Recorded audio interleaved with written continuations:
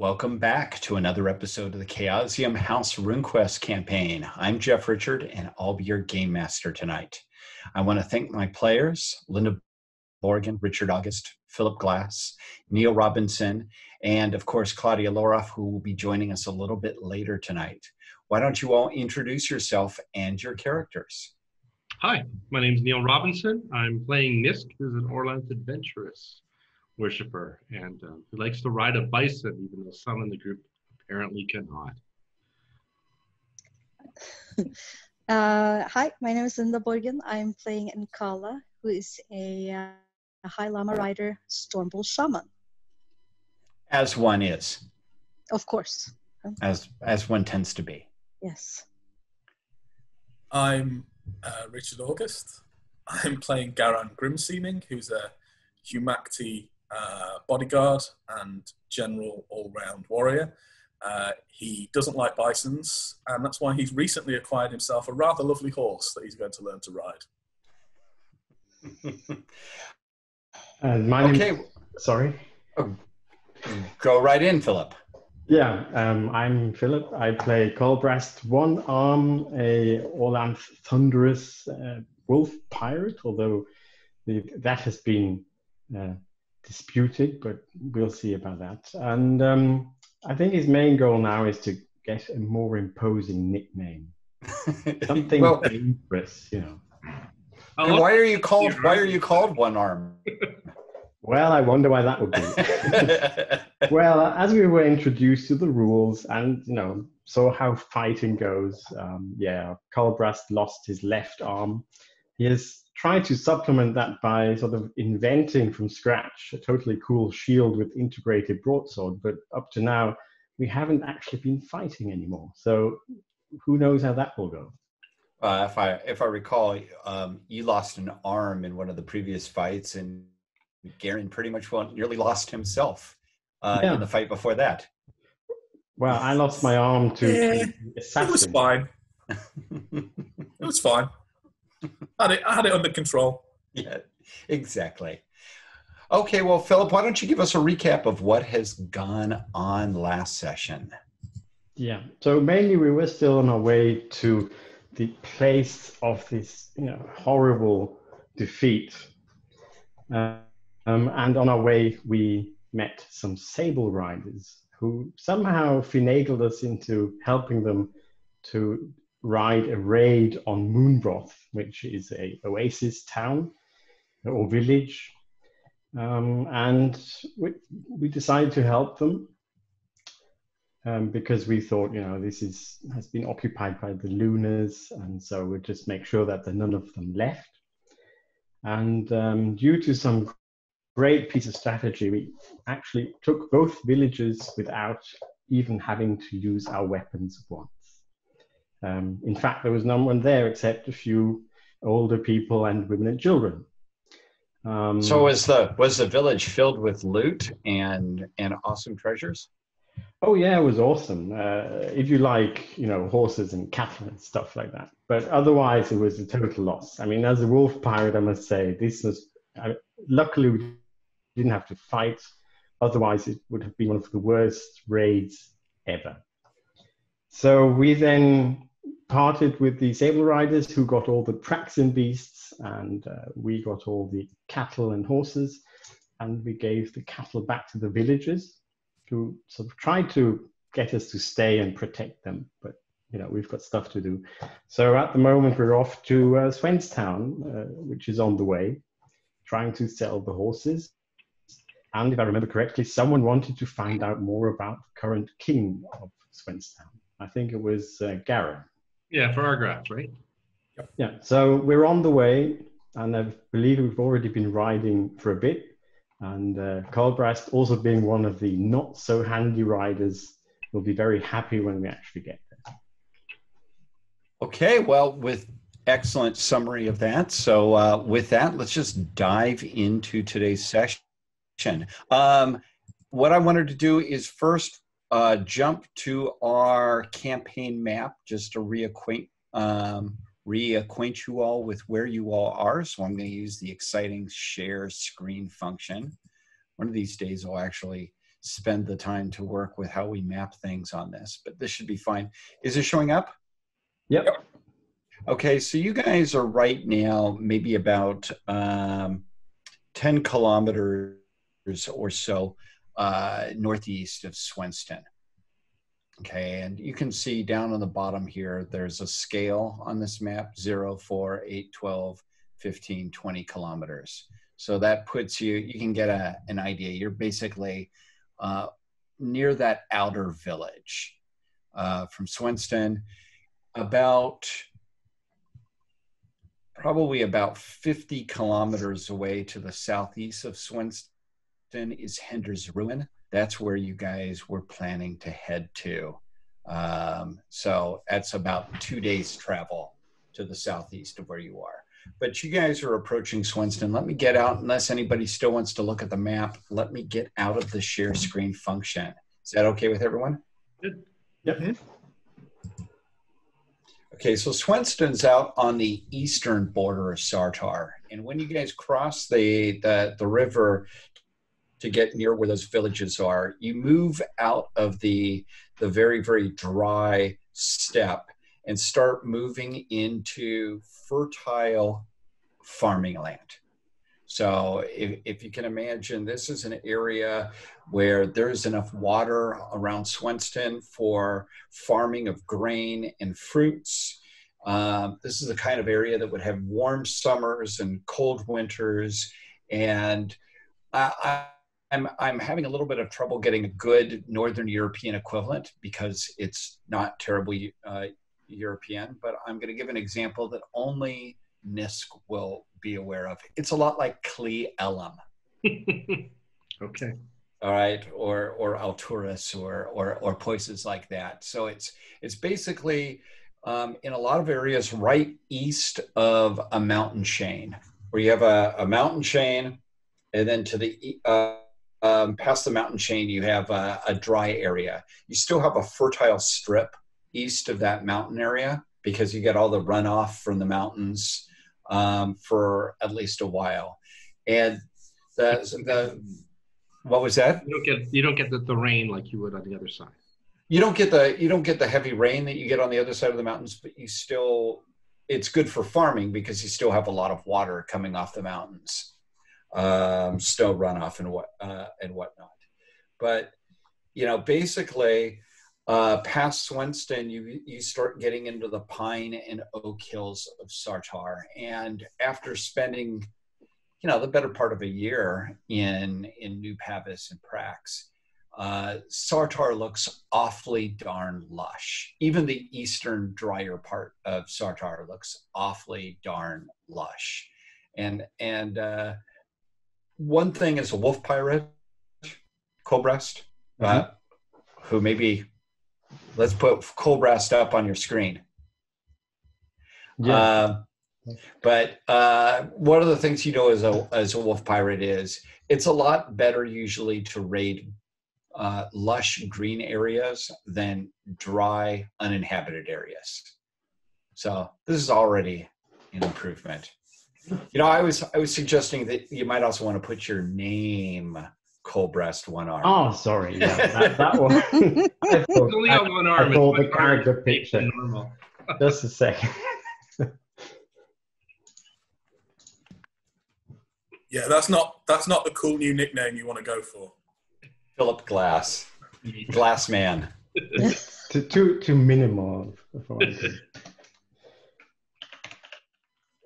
So, anyways, you all um, travel across the um, uh, the valley here, and it's you know it's farmland. It's it's you know you've got we well it's it's after the harvest now but you've got fields you've got grazing area for cattle. And you can see the um, up ahead uh, in between these two rivers you've got the city of of, of swenstown and it's it's surrounded by uh, six meter high granite walls built out of big blocky ashlar masonry you know it's a pretty impressive site especially after you know compared to places like Moonbroth uh, or whatnot. And there are um, uh, there are a number of of gates around the wall, and of course the gates are guarded here. And this is not a place that, uh, like Moonbroth, you would be able to raid with twelve people, and and have a hope to heck uh, to survive. This is this is a town that was is clearly been built uh, to be a shield against nomads and against their raids. So, and, and Kala, in in all the centuries that uh, there has been Swen, uh, Swenstown, the nomads have never managed to gain this place. It's just, you know, it's part of the reason that you guys don't do that many raids into Sartar. Is is this big, heavy, fortified city on the eastern uh, on the eastern gate into the mountains. Yeah, they like to hide behind walls, so they're cowards, but that's okay. So Swenstown itself, you guys um, all uh, head on in, and it's you know it's an open city um, and and trading, and they they charge. They want to know what you guys are bringing to the city. Um, We're gonna try and sell some horses. And that's right. How many horses do you have? Uh, Well, we 14, have, I believe. We right? have three that want people want to keep. So we have that will give us twelve and a donkey. 12 horses and a donkey. Yeah. So you're here as horse traders. Yep. Yep. Unless you're interested in zebras. I have two zebras. So they're going to charge you um, uh, a toll on entering into the city Mhm. of 12 lunars. Okay. Who's got the House of the White Bull purse? I do. Good. Nisk. 12 lunars for the group. Yeah. 12 lunars for the group. Mainly for the horses is the deal, right? Because we're Yep.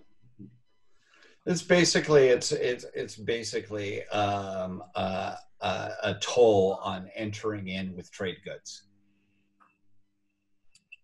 Yeah. They won't be taxing us afterwards then. still Although tax you every time they during. Pretty sure they will. they'll be taxing you every chance they can. Um, you know, somebody's got to pay for these mercenaries and these big walls. and these big walls. On the other hand, um, uh, you all head in, and and and and Johnston or uh, Swenstown is a, is is built on basically the same um, scheme as uh, uh, New Pavis is. You know, you've got a central market, a big central market. You've got um, a public and temple complex where there's the temples to Orlanth and Ernalda and and and the other Lightbringers gods, and nice big straight main streets. Uh, the area within the wall itself is about 25 hectares. So imagine it's basically about 500 meters by 500 meters. Hmm. So not a very big area. It's not a very big city, hmm uh, but it is, a, it, you know, it is a, a city city. And uh, let me just give you a few other very basic things here. You know, the the, the buildings in the town are ba- are pretty much all, uh, all one or two stories. Most of them are made out of either adobe or stone. Ju- again, just like in New Pavis. So the the the picture bef- behind Neil is pretty right. The only difference is that more most of the roofs are tiled so that it can drain rain and snow Yeah. off the side of it. Other than that, it's basically the same architecture, which isn't surprising because it's the same people that made it. It's not that far away, really. No, it's not really that far away. Uh, so let me just look at one other thing. Um, the key amenities in the city are it's got an important market for trade. It has uh, temples to all the Lightbringer gods, as well as to uh, Humakt, Stormbull, Waha, Uleria, and Yelmalio. Uh, the most important goddess in this in the city and in the area is is obviously and who has the finest temple is Ernalda because of all the farmers around. Uh, and the city also has, let me just double check this. Yes, it does. The city also has two baths. Oh, two public that's, baths. That's great because I mean, at, at home you just just in the sea every day, all the time. Yeah, And exactly. Here, here it's horrible. I, I mean, you can't, you know, it's Well, uh, and and public bathing is a a normal thing for Sartarites. Um, you know, there uh, public baths are normally associated with either the temples of Uleria or of Chalana Arroy. Um, and all baths uh, baths typically include areas for hot water and steam. They don't segregate their bathing areas by gender. Um, but on the other hand, the baths are expected to be places for bathing and uh, not for other activities. Um, so, uh, but it's you certainly no one has had anything even resembling a, a bath in the week or so that it's taken it to get across uh, Prax. The Praxians don't bathe, by the way, because why would you? we noticed that. I think. Good thing I'm riding high on my llama. It's less stinky that way. My llama Yeah. smells worse than I do. Does, doesn't Oh, and- that sort of rise up the smell? Uh, you know, I'm sure that the llama is stinky. I'm not sure it's as stinky as the bison. Well, that's true. That is true. Yes. So, tell me your guys' plan. What do you want to do here in Swenstown? Uh, I want to sell the horses first if we can to help pay for what we're gonna have to do here, and um, visit a temple. Oh, Definitely. oh, okay. So what I'm going to do is let's let's um, let's basically break this down into three tasks. It sounds like you, you're you're going to want to um, sell your animals. Mm-hmm. You want to you're going to want to go to a a a uh, temple, and you're going to want to have some sort of accommodations. Sure. So let's start with the horses. Who is going to be the person attempting to bargain with all of the Issaries horse merchants? Mm.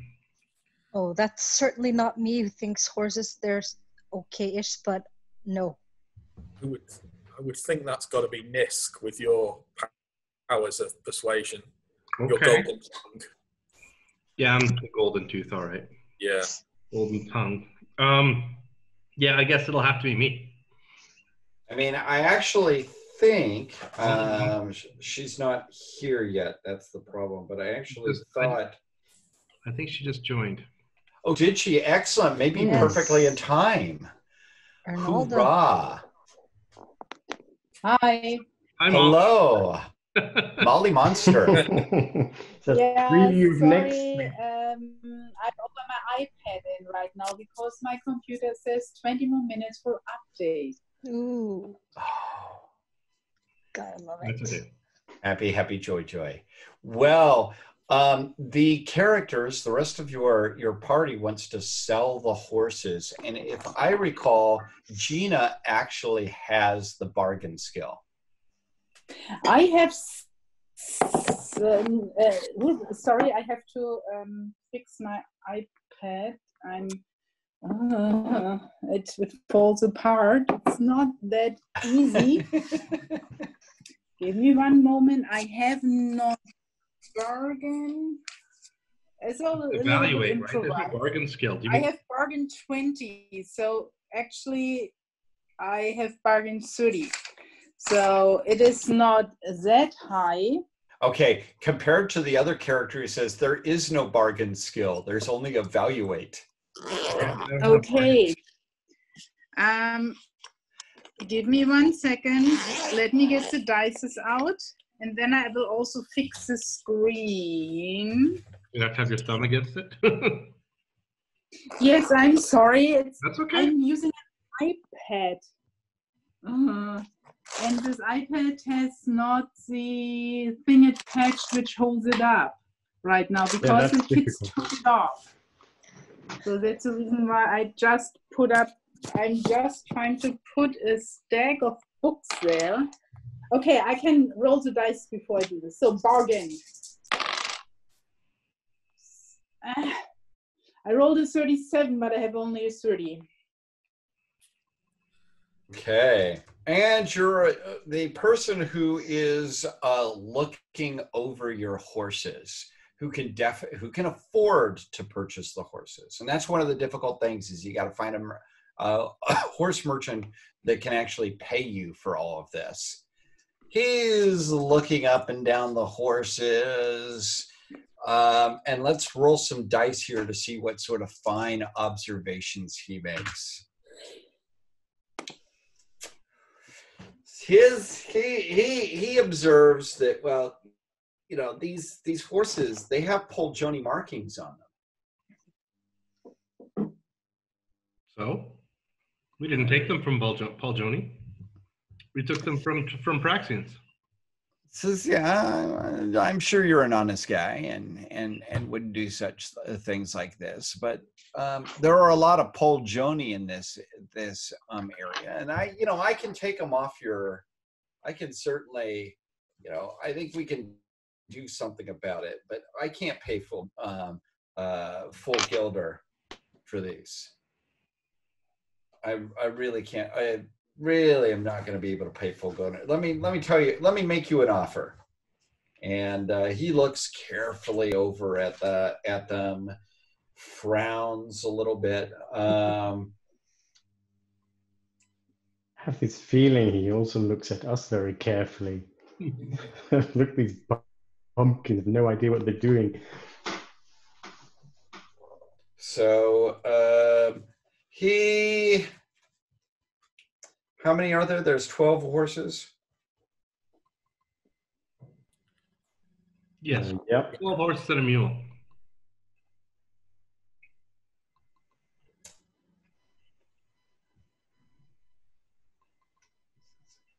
He offers you 400 lunars for the lot.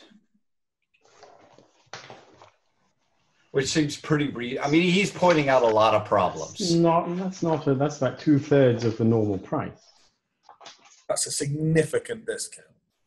Yeah. Well, he says they're they're as far as the Poljoni are concerned, and the Poljoni are members of the Swenstown Ring here, um, and there are there are Poljoni bands in this area. As far as they're concerned, these these are going to be stolen animals, and these animals look look at them.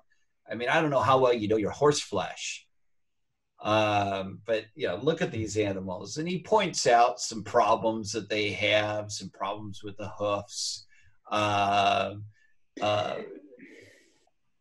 but he also sh- I know horses. show them how. Roll against your animal lore, Nisk, and then let Gina talk. Yep, go ahead while I'm rolling. Um, I mean, I, I, show him how nice they look, how how nicely brushed the manes are, and uh, they're very very solid horses and very gentle you know and some of them are really trained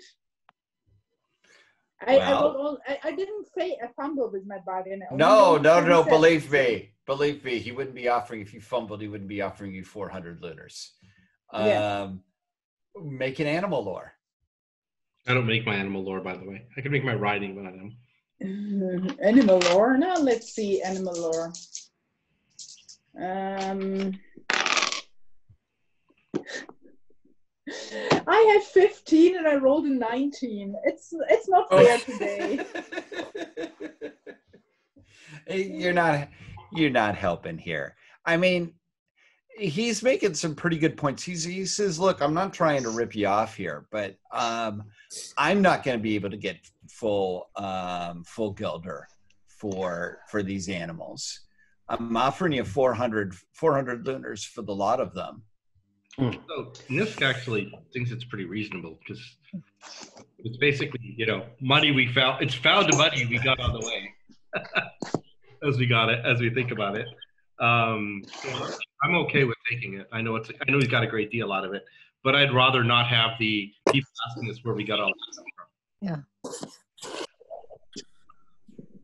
I agree with Nisk here. 400 is a fortune. 400 is so, the amount to that would support five um, free people or five free households free. It's a fortune. it is a lot of money. I That's, that's fair I just- enough. Yeah. bridle You against the idea we stole them. It doesn't. That's uh, impugning our honour. We, I would like to make it pay more, but if We we can't, we can't. Pick your battles. These are wise words, Nisk. Yes. All right. Well, I think we'll do it. We'll go get a place to stay, and then we'll. Okay, so so 400 lunars is a lot of cash. Um, I, I know you actually, I think Nisk actually possesses more resources than 400 lunars, but 400 lunars even would be a fair amount of your personal wealth, wouldn't it? Yes.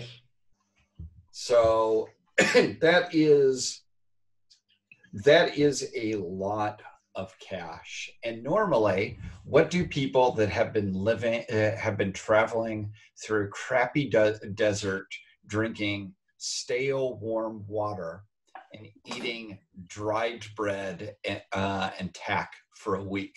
What do they do when they suddenly get a windfall of money? Donate it to the temple. Well, that's the first question. Now, That is the first question. Is are you going to give are you going to give some portion of this and offer sacrifices to the gods? I am. Uh, what I'm going to do is dole it out to the people who get the money out of it, and then they can do what they like. But I'm going to definitely go to the temple and donate. Now, you already got. Um, I'm pointing here at Garen. Garen already got two good horses out of this deal. Got a really good rate out of it, and Gina got a horse out of the deal, right? So- Yeah, but I threw my mule in. I'm sorry. I you threw my did. You mule did. in. You're right. Okay. Oh, So sorry, that's right. There was a mule. Did you throw away the mule? yeah, we, Yes. Uh, give yourself thirty more lunars as part of that package. okay. because the mule is actually not stolen. you, you get full price on that. Okay, so um, everyone except Garen gets 86 lunars. Woo! Year's income. I'm I'm throwing a party for the dead. With a lot of food and so on.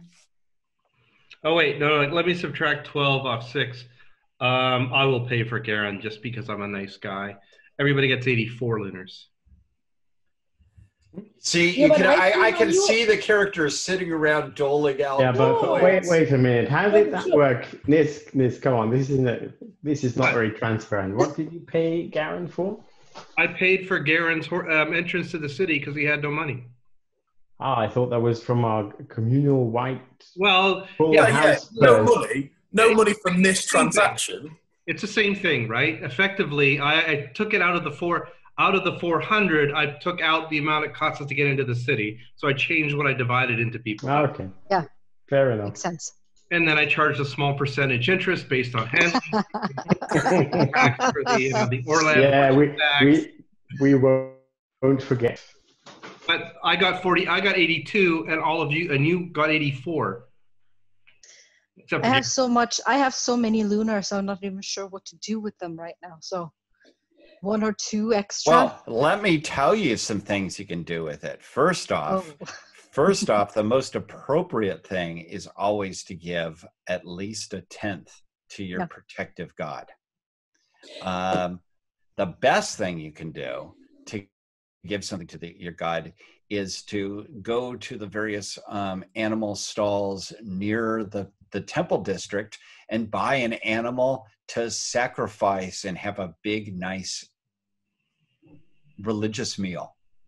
Yeah, that's a win-win situation, really, isn't it? It is a win-win situation. You know, all the But, but priests. that, that's what I suggested. I threw a party for the dead. Okay, so you're gonna go and and uh, I'm gonna give you. I'm gonna give you a a a, a full range of of feasts or or or sacrificial animals that you can offer here, people, and what their approximate price is. If you want to go for the very low end, for the very very low end, you could spend one clack. That is one twentieth of a and you could offer a chicken to the gods. The gods are Is not through. I'm sorry, I said What? party. Well, exactly. I'm just saying that's the very low end. A pig one pig is two lunars. If you wanted to, you could buy four whole pigs, you know, put them on sticks and and have a rotisserie of four pigs each. Four cows. Well, cows are a bit more. Cows, a cow is 20 lunars each. I want to have a real party. So I'm spending. And a of sheep. Just just the last bit because you know how good grilled lamb is. Yeah. A but it's whole lamb. It's A whole lamb is three lunars. Yeah, but the lamb is a baby sheep. But it's a whole sheep is three lunars. A whole yeah, sheep. so we have mutton, and mutton needs a little bit more preparation. How we have to mini soak it in buttermilk and so on. You know, the great thing about this, eh, Jada, is with most temples, you buy the animal, you prepare it there, then the priests sacrifice it. Their the temple staff prepare it, and you get a nice meal and the benefit of a happy God. Yeah, um, uh, it sounds like some nicely barbecue roasted pigs. All right, so you tell me how much you want to spend. I'm spending 20 lunars for a good party with pig and booze and everything to make the dead happy. Okay. All right. So we have over at the Ernalda Temple, we're going to have a feast going on. Um, how about you, Colbrast? There's an Orlanth Temple here. Yeah, yeah. I was just wondering if I can sacrifice anything at the baths, but probably not. So I have to go to the temple. Um, I think we like um, lambs, many of them. Okay. How much you want to spend? Um, I think 20 lunars sounds about right. Oh my gosh, you guys are are are are uh, the. Do you have any idea how happy Nope. these priests are? Because of course the priests get to eat this meal too. Hmm. I I want to go to the next um, Orlanthi, Nisk, This is going to be a Because- cow. 'Cause and a cow. Yep, So that's also wow. So I just want you guys to mark this out. I want to get an idea of these sort of sacrifices that you, you guys are preparing. In Kala, there is a small Storm Bull temple here as well. Oh, um, are there bisons for sale here? This is I was on. thinking a bi- Bob's Bison Burger could get a re like reinvention here. So you're going to spend 20, 20 lunars Yeah. as well. It's 20 lunars for a meat bison. Yes, And that's all it costs. that's 20 nothing. I have so much more than that. Okay. It's yeah. you can buy a bison and and and and end up with a whole lot of happy storm bulls. Yeah. Fi- uh, finally, Garen. And I lots am and lots of beer. going Lots to of- dip into the uh, the white bull money, given that I got nothing out of this, you know, Don't you have your own money? other than my horse. You don't have Uh, any other I'm- money? You can't just dip into the white bull money. I'm That's my managing. money. No. Not for your personal Do you want money? I can give you some I, money. all of the white bull money, as you call it, is back in in Pavis It's because we because it costs us 500 lunars a season or whatever time to keep the friggin' shrine going. if you want to have a little bit of money, I can give you And some. that is fine. You can also But, you know- hunt a sacrificial beast. Garen. But but but uh, on the other this is hand, on the other hand, what god is he trying to get the favor of? Humakt. Well, why don't you have some money? Um, you know, just we're friends. It's very. It's You very want some money, you, you get some money. It's no problem. That's a, a very honourable and decent thing to do. Honourable in a way that seems to have missed Nisk, a man who is apparently. Strangely, strangely I honor, don't honorable. this white bull, huge money that you expect we have, that we expect Yep. things that we have. A mere Anyway. five lunars I've sought.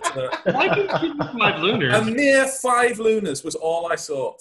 No no no actually Darren, But it's a personal gift from me. It's not from a white bull thing. So, You're so not you selective. have money too now, Nisk, or how is this I working? give you a pouch of 20 lunars, Garen. Oh It's no, that's like- far too much. I, I do not need. I No, do not no, need not such actually- wealth. Oh, we Garen, insist. Go on. much better. Garen, I, you can Have come to my desk party. I'm You're- always you're- slightly worried that you intend to make me dead at these parties, though, Gina. No, it's not, it's it's with the deaf people, and you're a Humakti, so the death is strong in you, and so on. That so is you, true. You will I feel would be- very comfortable. You're dead anyways. That is true. I would be honoured to, to join. Um, I, I need some space from Nisk right now. All right. How yeah, many Week in the? Desert can do that to a group, you know.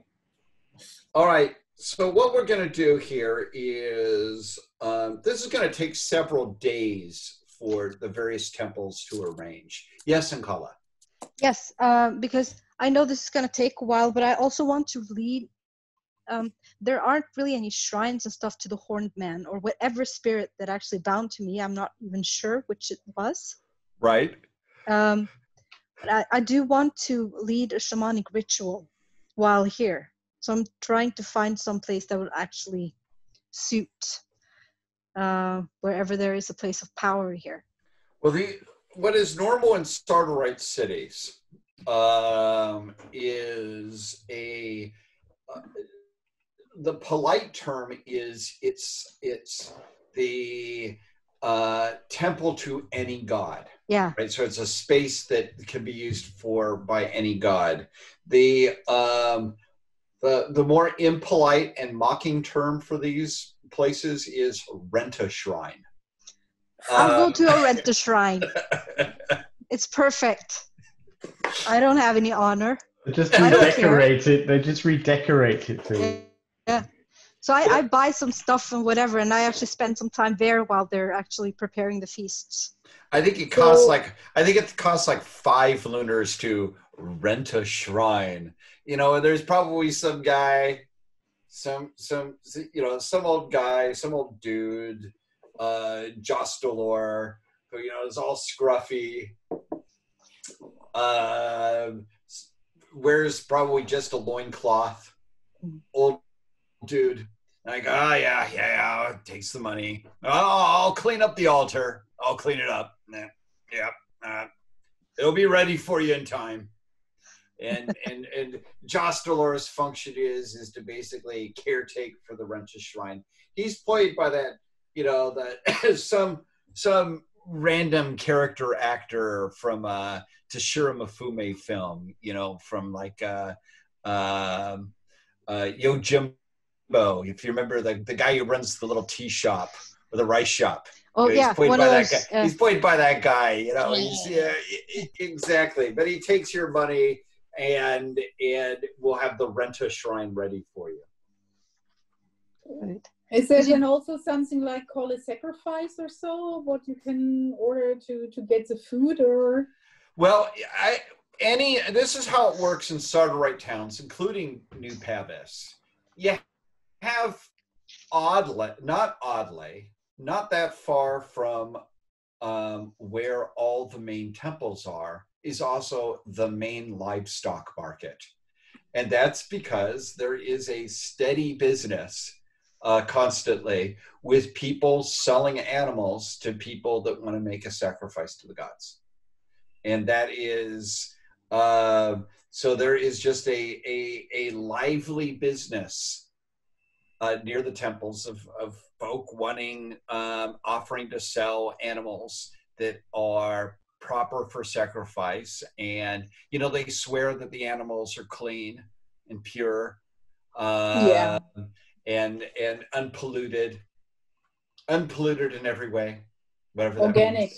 means. Or, organic, um, fed only on beer, only on beer and Ernalda's own grass. But it, it, it's important to th- remember that these temples are not like you know modern churches. These temples are are major players in uh, the running of the city, and they're also major. Uh, most of the temples are major landholders and landowners, and these sacrifices are a, a big source of money for them. You know, it means that if You you're want the white bull shrine to be. exactly if you're a priest, you know, you're loving this because it means you're eating meat every day, and somebody else paid for it, and they even pay you a little bit to um, uh, do all the sacrifices, and you keep the animal after the rest of the animal afterwards. The temple does, and you know this is just how temples work.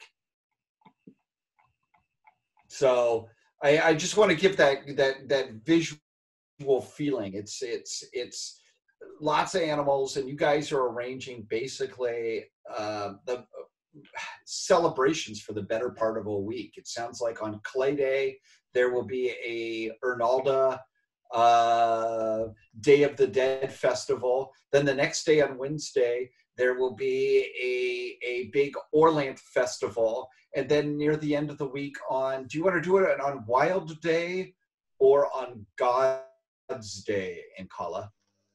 Mm, Wild Day sounds good. Okay, on and then on Wild Day, th- there's going to be a shindig at the Renta Shrine. So, Yeah, but you see, yeah, but you see, I'm doing that as well as the party of uh, the Storm Bulls, because oh golly, oh Yeah. golly, it just there's, this is a drunken party at the Storm Bulls after doing the serious stuff at the Renta Shrine. So I want to give you guys the feeling that for your characters, it's basically a week-long festival on uh, Bourbon Street in New Orleans. You know, you guys are going, you know, eating your food, eating food and drinking, drinking uh, ceremonial wine and the lot every day for this week. So, I am the designated driver every day. hey, you do get to enjoy the meat, though. I hope all the food. All right. You haven't So, given up every pleasure, have you? That's the next Oh, one. oh, and and it's lovely. I mean, you start at the Ernalda temple, and there's the Ernalda priestesses, all garbed up as goddesses with their snake dancing. Um, they're yeah, Claudia, you can describe. Gina, you describe what goes on at an at an Ernalda festival. Actually, uh, because it's about uh, it's for Tiger Attack. There's actually not a lot of snake dancing. They're they're actually all dressed in uh, white cloths, and they're symbolizing ghosts. And we are we are actually doing a, a big table. Um, people people can come by and pray for their ancestors, and uh, so they get food and so on. And uh, I invite everybody to raise a glass. To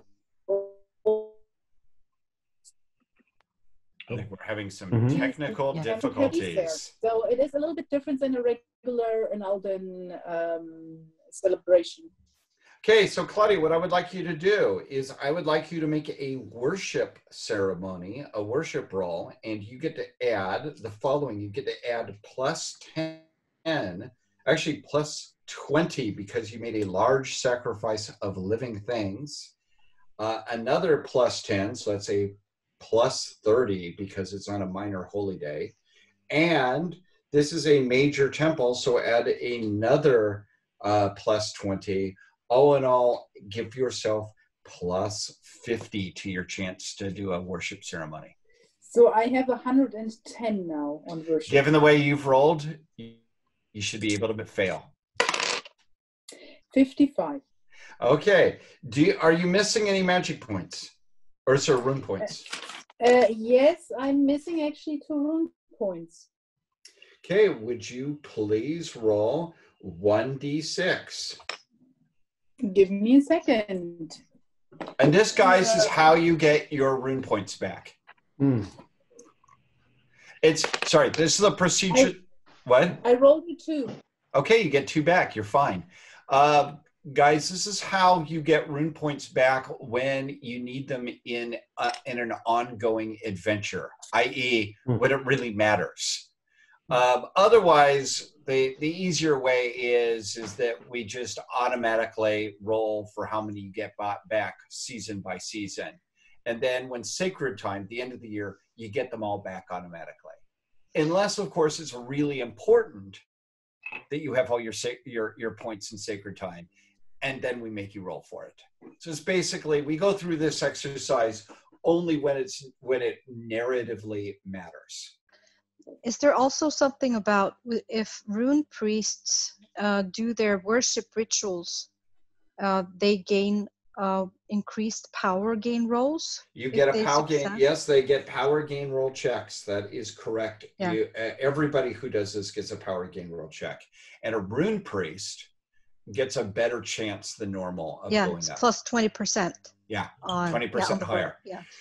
So Cobrast, let's roll for you to see if you're going to get your POW check because I don't think you've spent any uh, rune points, have you? No, I have spent no rune points. Um, Okay, so- power times 12 or No, roll against your worship ceremony. Oh, we're combining our ceremonies together, right? So we get Yeah. the bonus of my cow plus his pigs and everything. Yep. You guys all get a big bonus there, but um, I, you still get to roll independent, uh, independently. you you mean you mean worship which I have at five? What's Okay. your magic bon- bonus? Uh, zero. Okay, well, you get to add 50 to this. Okay, that's good. This is the pro. Okay, so ga- in game, let me explain that the re the, there's an in-game mechanic for throwing tons of, of of stuff at it. Is if you noticed, you get get- getting big bonuses, a big enough ceremony, and the gods are going to pay attention. So I'm giving you guys, you and uh, Nisk, both a. Actually, yours. Um, yeah, I'm going to give you guys a plus fifty. Can I use a meditate skill? You can use that to increase your worship, right? Yes, you can. You can augment with meditation. Okay. Hmm. I will try and do that. So are you going to go for it, Cobrast? yeah, I rolled a ninety, so I I just eat and drink and have a good time, Which is also Which is- fine. which is fine because I'm I'm you know I don't really use a lot of magic anyway, so just sometimes. I succeed on that, my meditate, and I am down a point, by the way. All right, so that means that you are plus 70 to your worship skill. Okay, and I succeed, not with a special or anything, but my skill is well over 100. So roll a d6. Six. That's how many you would have gotten. And I back. also sacrifice a point of power to get a spell. Okay, so reduce your power by one. okay, let's go to you, Garen. Oh, Okay, Garen, your gift was not quite so impressive, was it? no, it was only uh, two pigs. It was two pigs. So I'm going to give you, and were you participating in the Humakt ceremony or the Ernalda one? Um, Humakt is not present at the Ernalda one. yeah, so it'll be uh, it'll be at the Ernalda one. Okay. Good choice. So you only get a bonus of 20 points. But he's cutting the. Sh- he is actually helping to cut the meat. The pigs. Uh, so twenty, and that is a twelve. So that is a success. Hoorah! Are you down any uh, rune points? No, no deck rune points down. But you can still get your POW gain check. Yeah, awesome. Finally, Inkala. Yes. I know you haven't used any. I'm only going to have you roll. Uh, do you have worship um, Storm Bull only, right? Yeah. So add 50 to that. Uh, I do actually. I am actually down one rune point because I spent one on on uh, Argrath. Oh, that's right. Yeah. So I'm actually down one. Yeah, tha- that's a success. Okay, well, if you're down one and you get 1d6 back, you get it back. You can roll to see how much how, how much more, but yeah, you got them all back. I got five back, but I only have one. So All right, so do you guys get an idea of what the um so we know your religious ritual activity and the priests in Swenstown, they all all of the priests are friendly with you all. You've all proven to be good, pious people. You you you know you all have been drinking and eating with the uh, the Lightbringers priests for the better part of a week. So if I recall, there were other things that you guys wanted to do in the city besides sacrifice. Sorry, the cat tries to steal my chocolate. Of course, she does. Um, go to the baths, obviously, and listen to the gossip. Okay. Um, the last thing I wanted to do, we'll, we'll deal with the gossip. Uh, I just want to ding you guys because I'm enjoying dinging you guys money. Um, uh, it sounds like you're staying basically a week in Swenstown. Yep. Okay. Uh, are you guys going to stay in a shared room or a private room? I'm staying in the temple. You could stay in the temple. That this temple has accommodations. You can stay there. They're not that. I mean, that to be honest, the temple accommodation is probably about as good as most inns.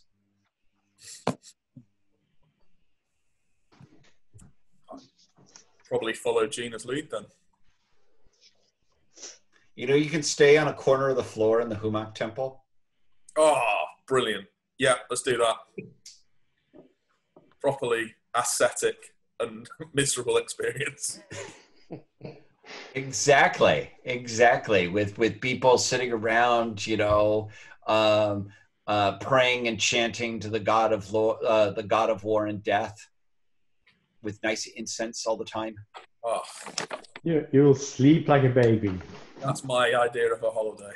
Exactly, talking about talking about death and severance and and termination. Oh, it's it's, you're it's speaking my language. exactly. Uh, how about you, Gina? You're on the floor of the Ernalda Temple. No, I'm looking for a nice script. Holly, can you let my chocolate? Sorry. She, she already, I had to bribe her already with one. Do you want to so- sleep in the charnel fields? Yeah, I think uh, there, I'm pretty sure there's a nice cold crypt or so. Well, there's an acropolis. It's not a crypt. Yeah, then I take the ne- necropolis. All it's right, like so, home. Yeah. So she sleeps over in the in the charnel house, the charnel grounds. Uh, how about the two Orlanthi? An I mean, I don't know if they'll give us good rooms. If they want us to sleep on the floor, I'm not going to sleep on the floor here. I don't think. I think we'll go to the inn. Or, or I and think we're okay at an inn, yeah. Okay, a shared room at the inn will cost you seven lunars for the week. okay. A private room will be 35 lunars each. A private room each. Yes. So shared means any other folk around as well. Or, or how many And uh, people it in the basically means it says it is they they they have bed beds. What don't we? Why Do we we get a private bed or, or are the beds shared as well? Uh, probably the beds are shared as well. I mean, this is this is the ancient world. They're they're, they they put it basically uh, where members of a group traveling together can, can share a room. That's what we'll do. Why don't we get a room and see? Hmm. Uh, I don't know if you're going to stay in the same London color or what you're going to do. Uh, I'll join you guys. I'm not shy. Yeah. Garen, you're going to stay in the temple still? Uh, yeah. So if you two give pay 10 each, I'll pay 15. Is that fair? Yeah. Okay.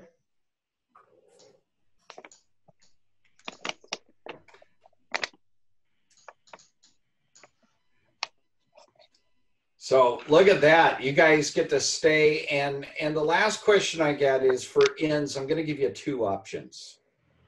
I actually, yeah, I'm going to give you two options. Uh, I see a cat's ear in the. Here, Holly, Two you get a bit more yes. chocolate. Here, please eat it. She's. I only want to tell you, Jeff. She's eating the white Easter egg chocolate, the good stuff. Oh, that's not good. So there's there's there's one in one option is a a um, a reasonably swanky inn that caters to merchants. All right. Now the nice thing about this is they can take care of your your remaining animals. There, it's basically like a caravanserai, right? So there's places for you all to stay. It caters to merchants. It's got it's actually got pretty good food, um, but not like that's been a problem for you guys. Um, and it's got pretty good. It's got pretty good wine, pretty good booze. The other one is a little bit rougher.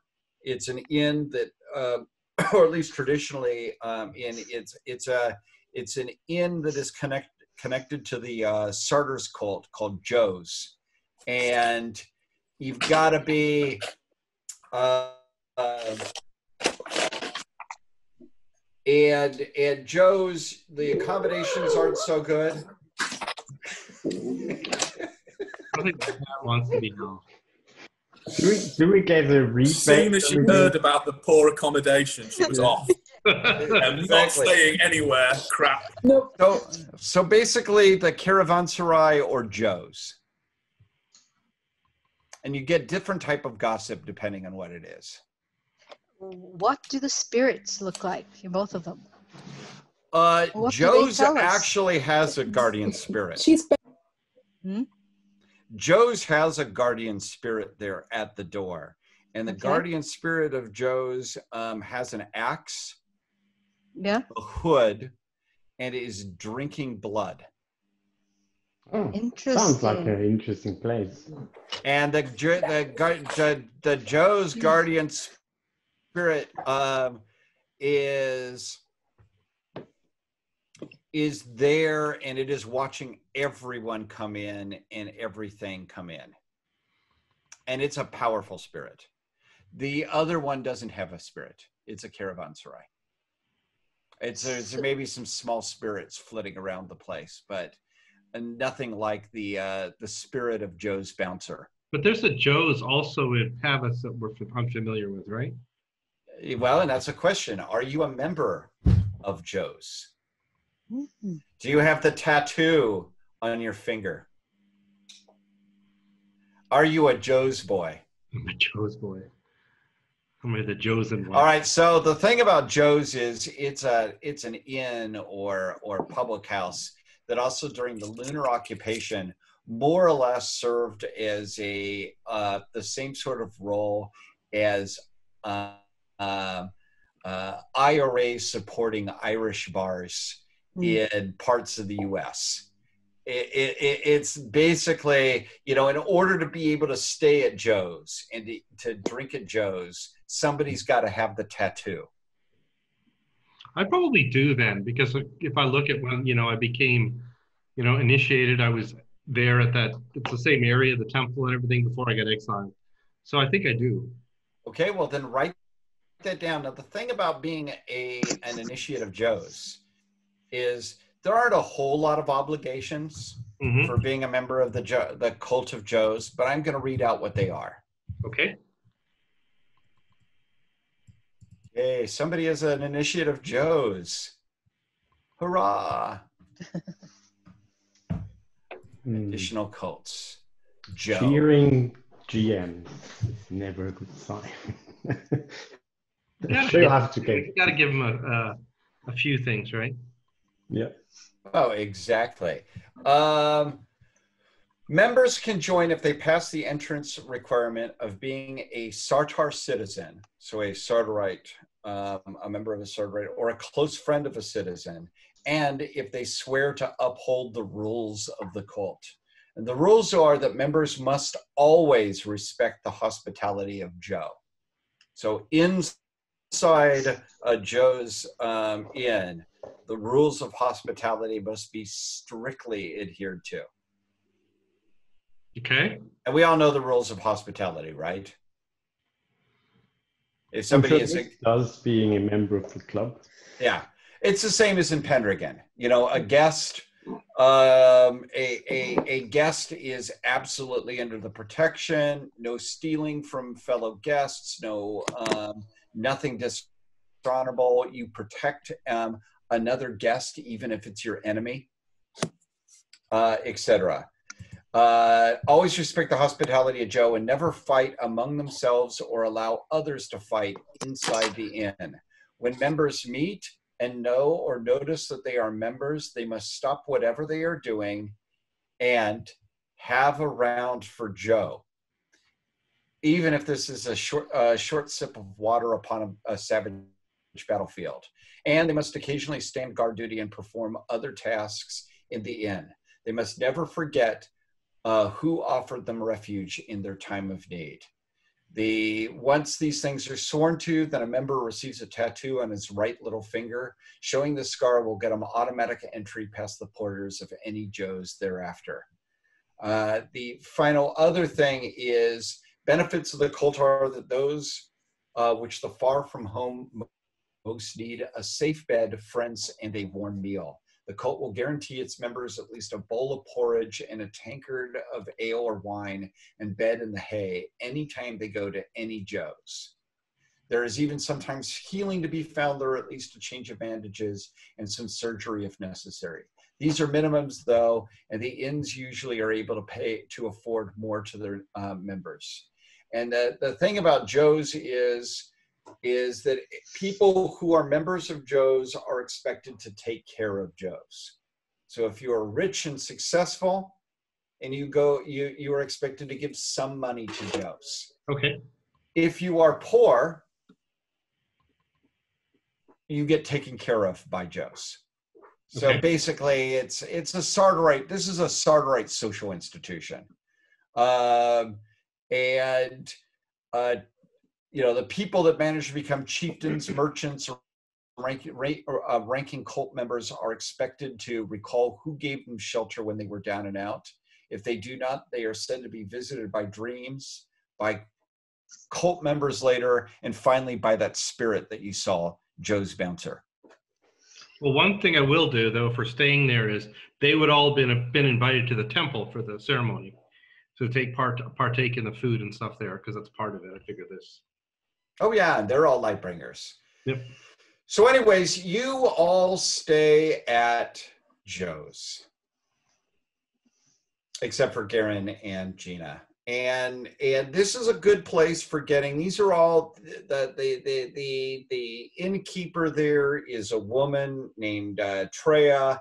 Uh, Treya is a former mercenary who is uh, now forcibly retired from from fighting because she was crippled in her. Let me just pull up. Um, let's get some better light here. Because she was crippled in her left leg. Mm, I, I know the feeling. So, but she's she's you know a strong athletic woman, and there is so you're welcome in there. There is uh, there's wine um, and, and food there, and this is a good place for getting information. Okay. It's all the information is of course going to be filtered through the sort of Sartarite who is a member of Geo's, but you can get an idea. Okay. Well, that's what we'll try and do. I don't think there's too much there. Oh. Go and see what's there with the the temple being destroyed and get maybe someone saw it or was nearby and heard that sort of stuff. It's been a while, but we've not heard it. All right. So, what sort of information are you trying to get? Um, I think we're trying to get information on. Trying to remember here. Uh, I would say, uh, well, who the king is, what factions are, what the status of the lunars are, um, kind of some semi-big picture things, if we can.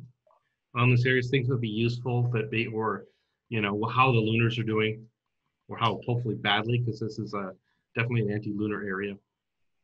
I'm gonna let you all try to make a. I've got a couple of morsels of info I I, I can feed out, but I'm gonna make you make an intrigue roll or Uh-oh. something like that. But I'm gonna give you a plus forty each. Okay. I might have a chance. Ooh, I roll a zero zero three with a plus forty. It might be a critical. It's a special. What's your skill? I'm looking for it. Uh, what you say its name was? Intrigue. How to communicate. Yeah. Oh, yeah. No, it's not a critical, but yeah, it's a special. A special. Wow. How about you, Nisk? Success. 27. How about you, Colbrast? Nope. Anybody else trying here at, at, at Geo's? I'm not there. So you're welcome to come. I mean, it's, you don't have to only be in the Carmel houses.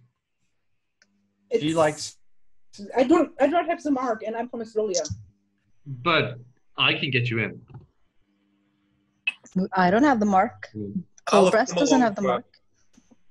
I'll have come along for a meal, so I mean, I'll try it, but my intrigue is, uh, yeah, not even, not even close.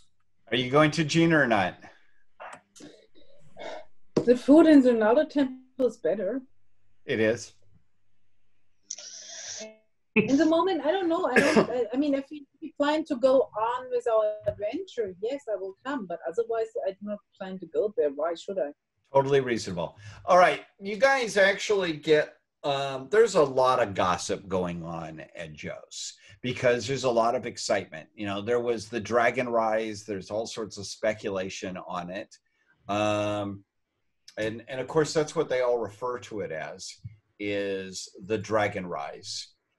And the other big thing that they that people want to talk about is the new Prince of Sartar the the the the tri the, the tribal leaders and and and temples acclaimed Kallyr Starbrow as the new prince of Sartar um, after she defeated the Lunars at the Battle of Dangerford um, a few weeks. she's Kelvin too, right? Isn't she? She's Kheldon. She's a local girl. So let me pull up that map there again.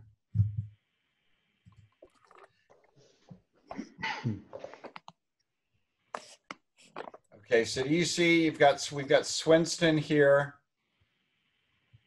right? Swenstown. Yep. And then way over in the southwest, you have this big squiggle.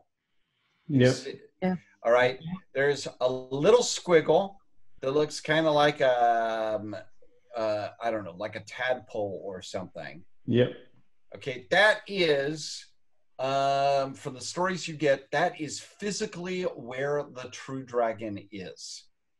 And that's about how big it is, they say. The other squiggle is the area of total devastation from when the dragon uh, rose.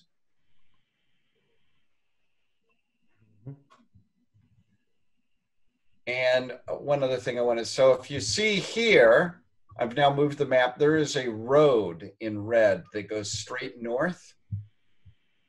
If you see where it crosses that river that says Flats, there's a little village um, right on the, the south side of the river where the bridge, the road goes over it. Yep. That's Dangerford. So that's where there was a battle, a big battle a couple of weeks ago, um, where after the Dragon Rise happened, what you can get is is that most of the lunars, and I'm going back to the map one more time, most of the lunars were at a temple as part of a gigantic lunar temple ceremony that had most of the lunar soldiers and all of the priests and high muckety mucks of the lunars all gathered at a temple that was located exactly where that tadpole squiggle is. Hmm. It's not there anymore. And with the Dragon Rise, when that happened, the ent- pretty much well, the vast bulk of the lunar army, the lunar college of magic, the lunar priests, and all of the forces that made the lunars the most powerful um, uh, player in Dragon Pass was eaten in an afternoon. And when that happened, uh, the many of the tribes rebelled and overthrew the remaining lunar uh, garrison. The the Lunars tried to gather what they could and see if they could conquer Sartar before all the tribes rebelled, and that's why there was a uh, at the Battle of Dangerford. That, that's where Kallyr Starbrow um, uh, led her Sartarites to victory over the Lunars, and the Lunars have retreated. And so Sartar is free. of lunar occupation, and it has a new prince called uh, named uh, Kallyr Starbrow, who was the leader of the big rebellion 10 years ago. Um, and she, uh, prior to becoming the prince, she was the queen of the Kheldon tribe. And the Kheldon are the tribe right outside of Boldhome. And they, so if you look to the west of Swenstown in the mountains, you have this city called Boldhome. That is the capital of Sartar and the the valley right outside of that where you have the river and you can see a bunch of little villages that's the lands of the kheldon tribe so with that i'm going to give you guys based on your successes three follow-up questions that i'll answer well and obviously this is to the group, so I'm not asking this directly. This is, I, I would like to know what their view of Argrath and the White Bull is. Uh, what's what's the feeling? Yeah, is that sounds good to me? Cool. Okay. one. The general reaction is that only the Poljoni like him. Uh, the Poljoni and and their Dundealos um, allies. And the Dundealos, the, the, the Poljoni and the Dundealos are now in the area called the Dundealos Valley. And that's the reason I kept this up is, is that I want to keep this map in case they're uh, up, in case there are questions directly related to that. And you see to the southwest of Swenstown, there's something called the Dundealos Valley. It's a big, um, a big fertile valley, which is where uh, it's currently occupied by the Poljoni and their Dundealos allies. They support Argrath, but the other tribes around Swenstown um, uh, generally support Kallyr um, or even very strongly support Kallyr uh, to the extent, like the um, to the extent that uh, they are members of the Kheldon tribe because she's she's the leader of the Kheldon tribe.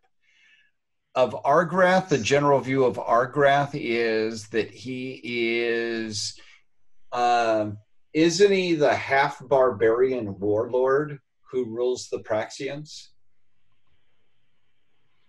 Pretty close. I didn't see Callus Starbrow summoning a dragon.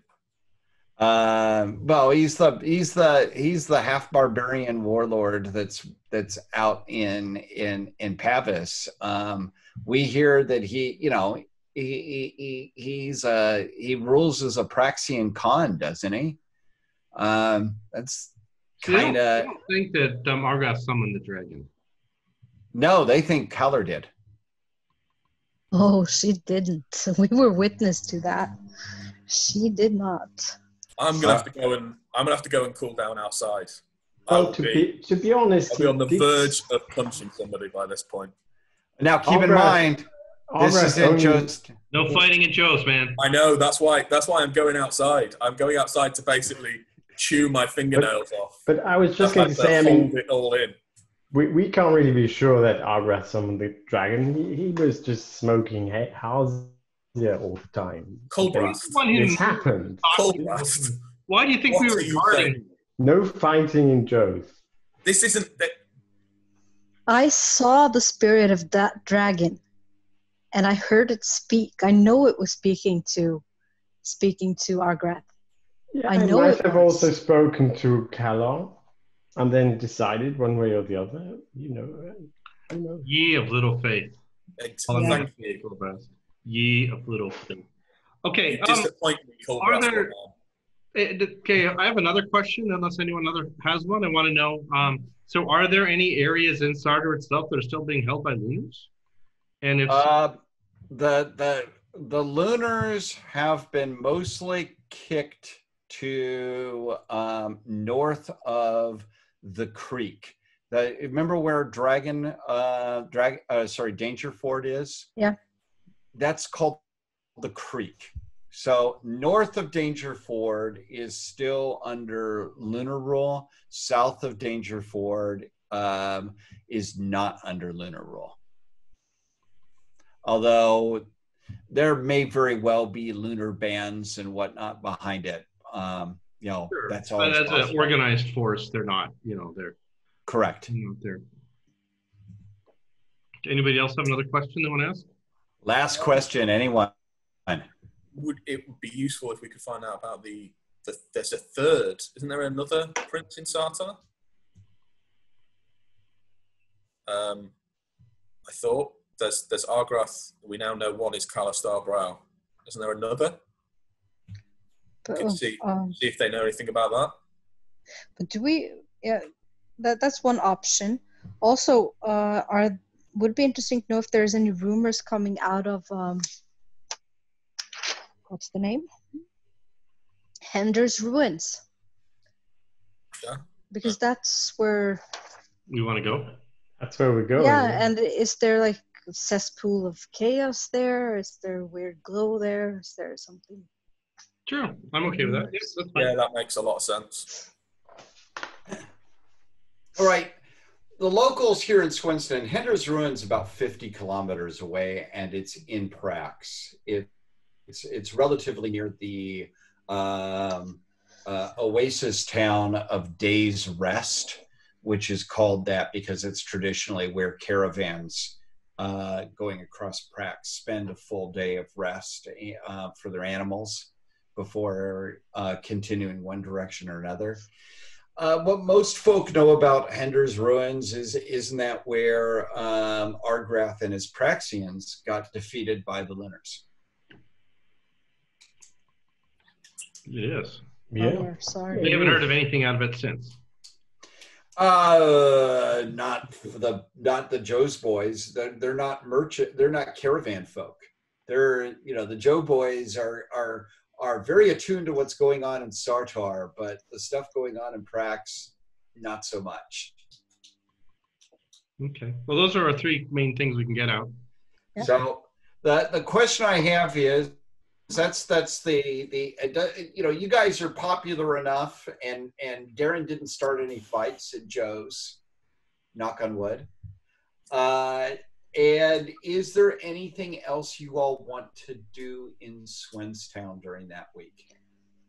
Um, maybe actually go have dinner at uh, that other place with the ca- which was more like a caravanserai, Okay. and try to see if there's information there as well because they are caravan caravan. Those are going to be Issaries Golden Tongue merchants. Yeah, those that's what they do. So uh, is that what you guys want to all do? I'd also like to um, see if I can arrange a riding lesson, a horse Okay. riding lesson. You know, Waha Tall is very happy to try to t- to act as your writing tutor. Yeah, of course, he's still here. Of course he is. Yeah. I I actually tried to find some information in the temple. About? Okay, make an intrigue.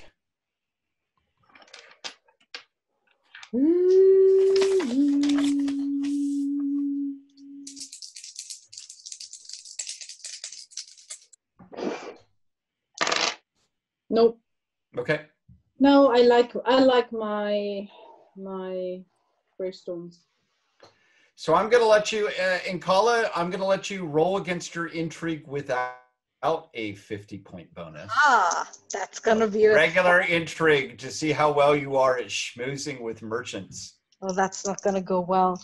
I almost want to do it, and oh, that is not. gonna go well. Because you're not a merchant. You haven't Oh. been spending tons of money on things the merchants. But I roll a twelve. Is And that a success? That is a success because I have fifteen. I All did right, it in the yeah, channel just to because I want. mm, yeah. I, I trust you. I trust you. All right. So, what are you trying to get out of them?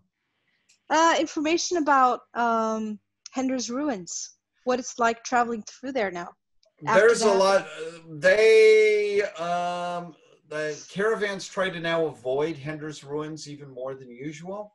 Mhm. Um, the the the ruins there. There's um, uh, there there's tales of um, people seeing loons still on the battlefield.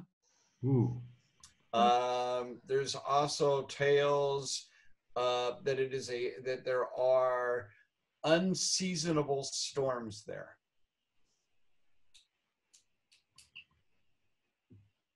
Yeah. So loons, strange storms, and of course there are the the ghosts that always haunt bot- battlefields. So the caravans try to avoid it. They recommend against going there. It's an unlucky place. Huh. Oh, we got Those is information there always anywhere else.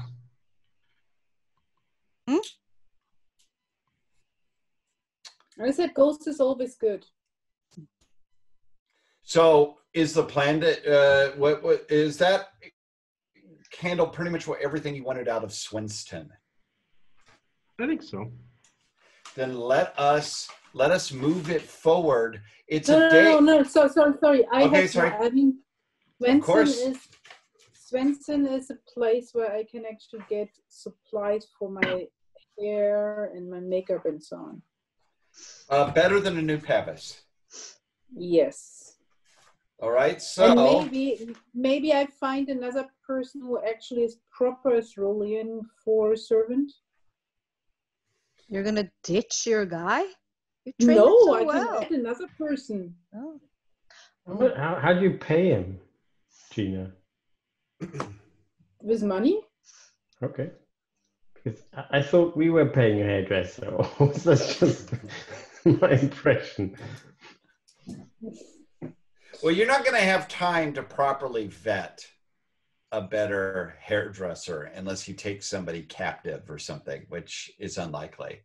Okay, Um, but at least I, I can send Olgor to get uh, more makeup stuff and so on. And the good, I mean, no, actually, I go alone. I go with him because um, he does actually not know the good stuff from the bad one. All right. So the basic stuff they've got, they've got henna, Mm-hmm.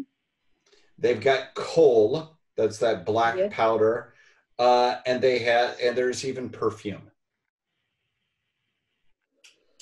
That's something.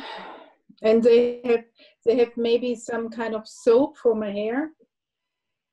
I will roll that into the price of um, uh, I basically a daily package. How does this sound? A daily a a a daily a daily package there costs half a lunar. I want to have also face oil. Okay, slightly more than half a liter per day. okay, so How many how long days- are we on right now? How many of these packages do I have to buy? You tell me. Well, How much do you I want don't to know. I mean, 50 kilometers. It's not that far. Um, I get a week's worth. So you're gonna buy. It, we'll, we'll round it up four lunars worth of of of makeup and perfume. No, I will bargain. I want to have 10 for the price of four. Okay. So let's see. Yes. All right. You get ten days worth of of coal and perfume and face oils. Take that, four Rich. lunars. How often do you get that in your your your games there? Bargaining about face oils. Just while we play RuneQuest. Argon, Argon, best. All right. So, uh, is that everything in Swenstown? Gina, anything else? Special henna for the feet? New sandals? I got my henna. I have enough okay, henna okay, now. Okay. All right. So from Swenstown, it's about a day's travel to Pimpers Block. Uh, and, and, and Pimpers Block is basically it, it's it's actually a little bit past the fertile area and into Prax. And maybe I should show the share the map very briefly.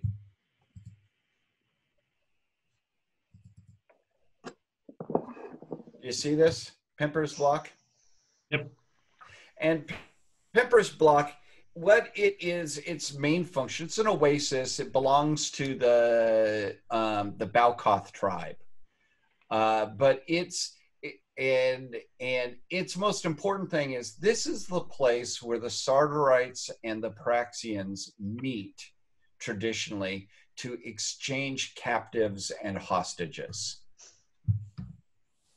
And the downside of that is, of course, this is also the place that the Praxians, the Sartarites, meet to sell each other people they took captive. In other words, it's a slave. It's a it's a slave mar- uh, slave market. Mm. Um, and and it's worth pointing out this is a ancient world, Bronze Age thing, and people do take um, people captive in raids and bring, bring them to Pimper's Block and and trade them. The Praxians usually trade people and captives. They try to trade them for weapons um, and metal goods. Uh, the Sartarites uh, will t- uh, trade captives they took in war, and they trade them to the Praxians for for animals, herds, or or uh, mercenary service. And you know that's that that is a down that's part of the dark side of a violent world is that that there are a lot of unpleasant things like that. The Cult of Orlanth doesn't really like this, but uh, tolerates it uh, other cults like Humakt uh, and Ernalda could care less. Um, it's one of these evils that that are in general just accepted as part of uh, uh, a a violent and dangerous world. So I'm going to assume you guys don't want to spend a ton of time at Pemper's Block. Um, one of the things that one of the folk that the the the, the tribes that are forbidden from coming to Pemper's court is the Praxian tribe called the Morocanth. Um, Okay. and, if, and the fear, the Sartarites always fear that if the Morocanth are allowed to buy captives, they'll eat them. Because the, the Morocanth are, are, are feared to eat people. Oh, but I love Mock the pork. What? I love the Morocans. Yeah, but the Sar the, the, they are banned from from um, even camping near Pimper's Block. Eat them or or uh, secretly fix their int. Yep. So Secretly what? turn them into animals. Yeah. Oh, Yeah.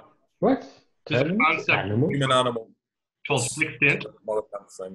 Yeah, it describes creatures that are have a certain level of intelligence but never can learn the same way in levels, and that's Wow, it is really shocking.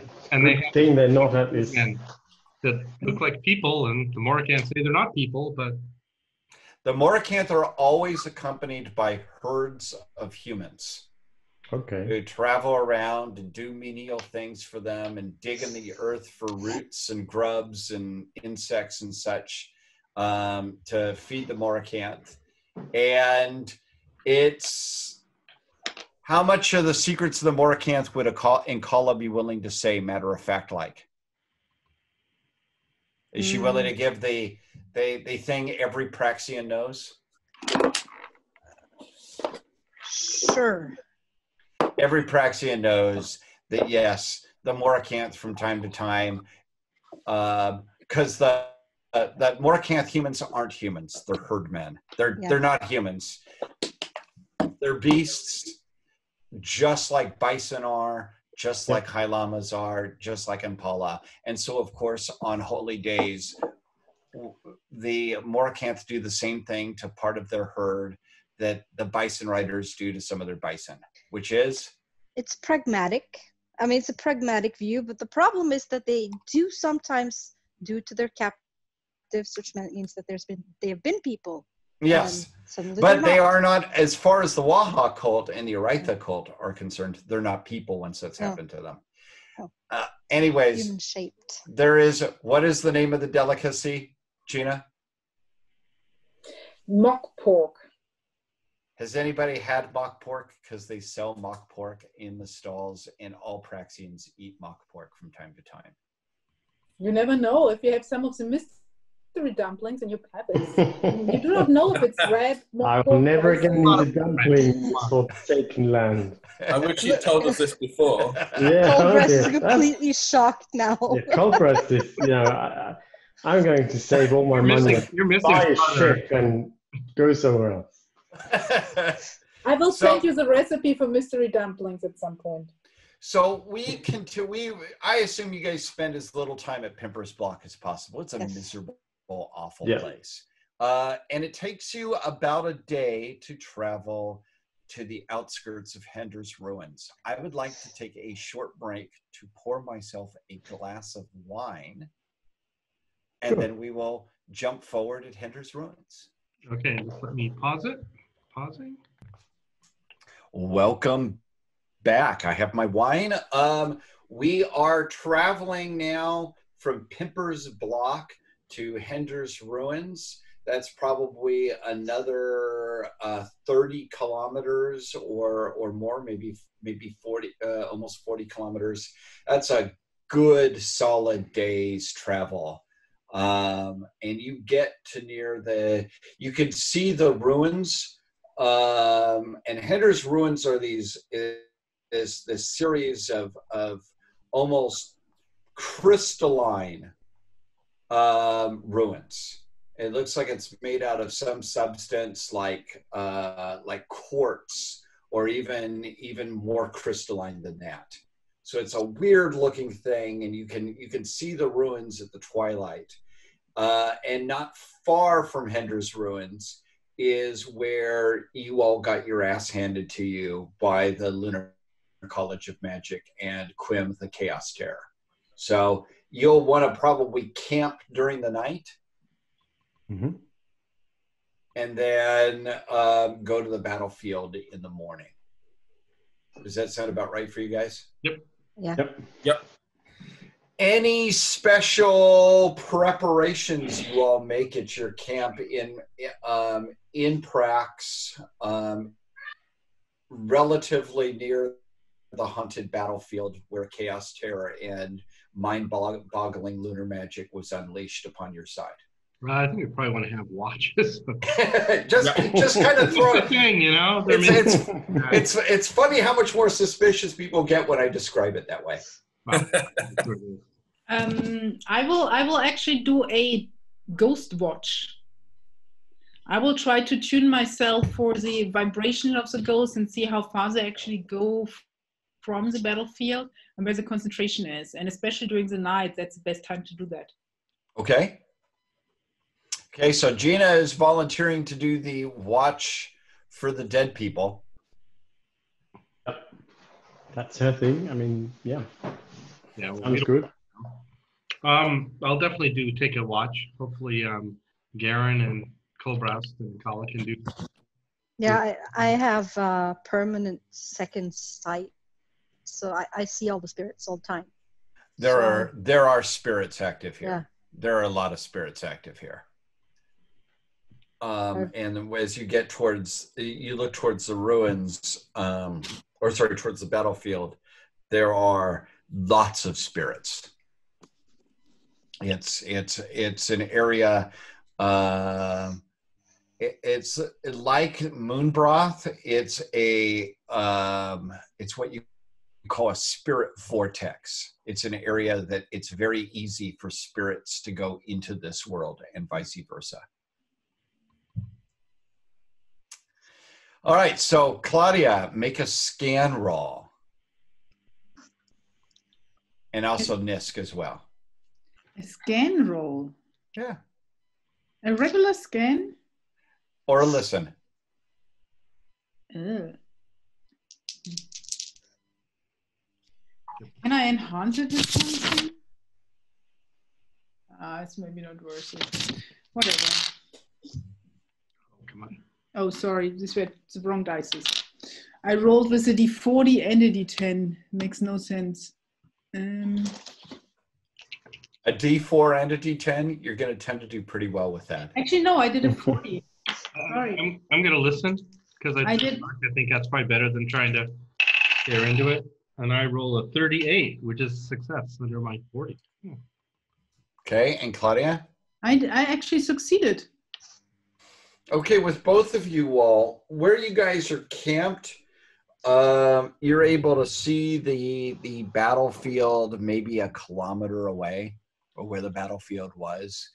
Um, there is um, Nisk hears an uh, occasional um, crack of thunder over in the area of the the battlefield, but without a lightning bolt. There's no flash of lightning, just Mm-hmm. a peal of thunder. Um, and the other thing about it is it's not really overcast. Well, that seems wrong to me. And this is, goes on um, uh, from time to time during the night. And Gina, from time to time during the night, you can see on the battlefield, you can see moving crimson shapes. Okay, crimson shapes. Um, but they stay where they are, or are they coming closer? They do not come towards your camp. They seem to be one uh, moving around the battlefield area. Do they uh, look like they have a target, or are they floating around like I don't know? You can't. It's it's almost a kilometer away, but it's crimson lights, so you're able to see these lights, you know, from from almost a kilometer away. Uh, but you can't, without getting closer, you can't get any real great specificity as to their movement. If it would get closer during the night, is this a problem with this terrain or not? This is flat plain country. It's it's it's like going out to um, if you remember when we are driving around in eastern New Mexico. Uh, You know, it's it's it's it's dry chaparral and um, right near Hender's ruins. There's a salt lake. You Mhm. know, there's you can see a long ways there, but um, you tell me if you want to get closer to. Actually, I would like to get carefully closer. Okay, a Gina's going to leave the. Uh, Gina gets up and and heads away from the camp to start heading a little bit towards the Oh, battlefield. What you doing? I want to, do, uh, there are crimson lights. I want to see what they are. It's important for tomorrow. Uh, I think I should probably go with you then. And I'm, if that's the case, I should wake somebody up to help guard. Well, I'll do it. And do it quickly before they're I'm gone. gonna go wake up um, Garen. Ask him if he can watch the thing. I'm going to go protect our um, Leon Alden here. So let's let's walk. All right. We're going carefully closer. Do they react on us? Okay, when you get closer to the battlefield, uh, I want one more listen roll. Nope. Yes. You can hear in bits and places um, moaning of uh, moaning like people in pain um, or or have been wounded. Um, you know, it, you hear a sound over in that direction, then it, it stops, and you hear a similar set of sounds in a different direction. Uh, and I, I'm going to say that the battlefield is basically it's like a you know a kilometer by a kilometer area So and in there there's lots of point there's there's lots of bits where you hear point hear voices and they they shout out things like help me oh mother mother have mercy and you you hear sounds like you know voices like that and um, rolling around on the battlefield are are blocks of crimson light. Sometimes they're relatively small, only like about a meter around. Sometimes they're they're three times that big. um, have I heard things like that before? Something haunted spirits that they're actually being tortured. Well, ghosts often speak. you know when they manifest in this world they they they often speak um, about things that matter to them and, And- it is and it is not abnormal for a battlefield to have a lot of dead unless those dead had been uh, the the proper rules is after a battle both sides negotiate about bringing the dead off the battle so that the dead can be um, you know properly interred but that did not happen at this battle if you remember you guys just ran away Okay, I know what to do now. Let's go back. I have to prep for next day. Try and get rid of these ghosts. Please help help these ghosts out. Help these ghosts out to be properly buried, and uh, uh, get uh, show them the way to the underworld. Okay. Maybe the way they can give us some of their mon- mundane possessions that they don't need anymore, so we can use them to carry on the fight. What? What are you thinking about? Why do you think we about came here? loot? Yes. Didn't we come here about loot. They need their things for their afterlife. Well, why did we come here? I know why. Yeah, we, we both know why. I know I really think we were coming here to perform some, some ceremony for the Help dead. with these ceremonies. Of course, I Cost well, for this. Are you totally mad? Wh- Why on earth? This is, you know, this Does is not just, compute. that does, does not compute at all. If, if I knew camels, this would be the straw that breaks the camel's back. Fortunately, Philip, high llamas are much stronger than camels. Yeah, that's yeah, that's good. I spent. I actually spent the rest of the night uh, prep, uh, going in meditation and prepping myself. All right. So the next morning, after you guys have your uh, meal, which is probably actually you've still got some decent food from Swenstown, you can make your way to the battlefield. Anything specific? Yeah, I prep myself to bring to to guide ghosts. Okay. So you, you put your mourner's costume on and, I- and all put- that? the right hairstyle, the right black makeup, the right. Uh, I chant to get myself into the mood with meditation and so on. I mean, I did it the rest of the night, and I walk ba- barefoot, of course. Okay, rest of you guys, presumably nothing like that. No, I mean we've got we've got hopefully and Kala can help us against these spirits that Yeah. are gonna come. And I'm gonna, just going to remind you that uh, my shamanic gift um, is the spell extension. And last pl- gaming session, I cast a spirit screen through uh, five point spirit screen, So and you it's still active.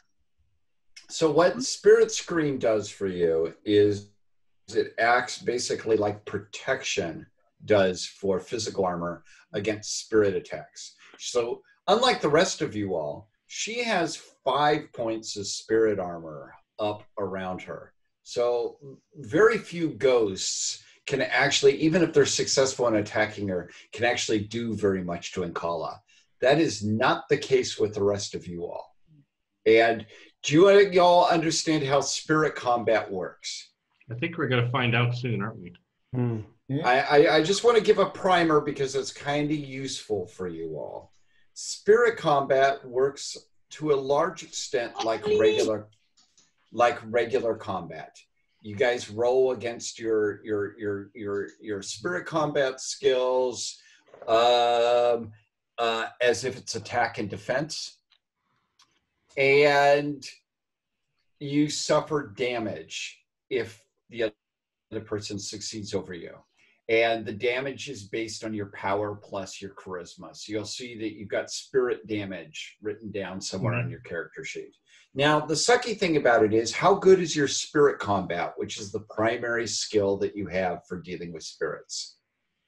Mine? N- not in Kala, not in Kala. How how about you, Nisk? Uh, that uh, my spirit combat is a 50. Which is very good.